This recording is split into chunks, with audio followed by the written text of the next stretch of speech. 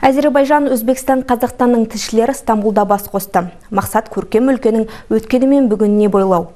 Олардың сапары Ая София мешітінен басталды. Құлшылық орында қазір жаңғырту жүріп жатыр. Тілшілер сапары жайлы бейне материалда. Үш елдің тілшілері ая софия мешітіне барды 324 жылы қаланған ғимарат талай сыннан да сынақтан да өтті. Нысан 2020 жылдан бері құлшылық орны ретінде қызмет көрсетеді. Жалпы стамбулда үш жарым мыңнан астам мешіт бар. Ая софия мен сұлтан ахмет мешіті бір біріне жақын орналасқан.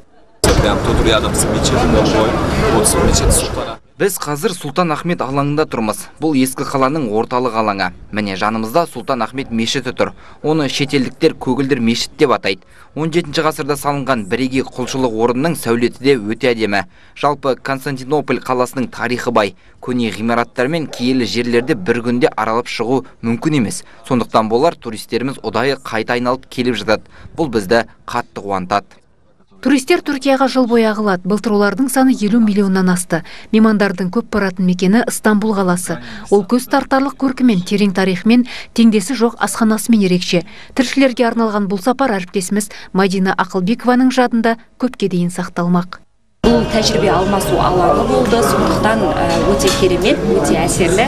Одан бөлек міне бүгін шеф повармен танымал мейрамханада шеф повармен бірге ас дайындаудың сәті түсті.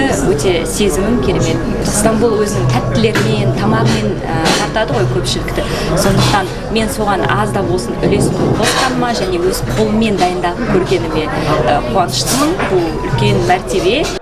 Тілшілерге әлемнің шоппинг сүйер қауымы ерекше бағалайтын гранд базары таныстырылды. Бұл жаһандағы ең ірі сауда алаңы. 64 көшені қамтитын аумақта 4000 дүкен орналасқан. Түрік мәдениетіне қызығатын көпшілік ол жерлерден осман дәуірінен сыр шертетін кілем керамика шай мен тәттілерді сатып алады.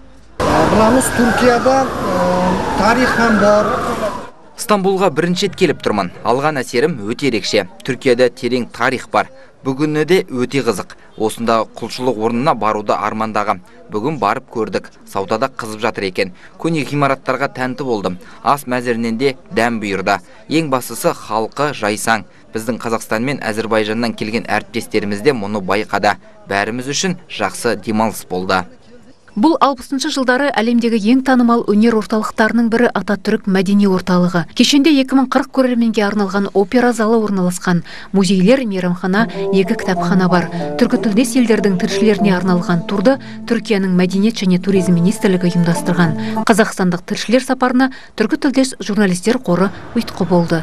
Нұргүл садықова мерей мұратханқызы бағдат қайыркен семей телеарнасы.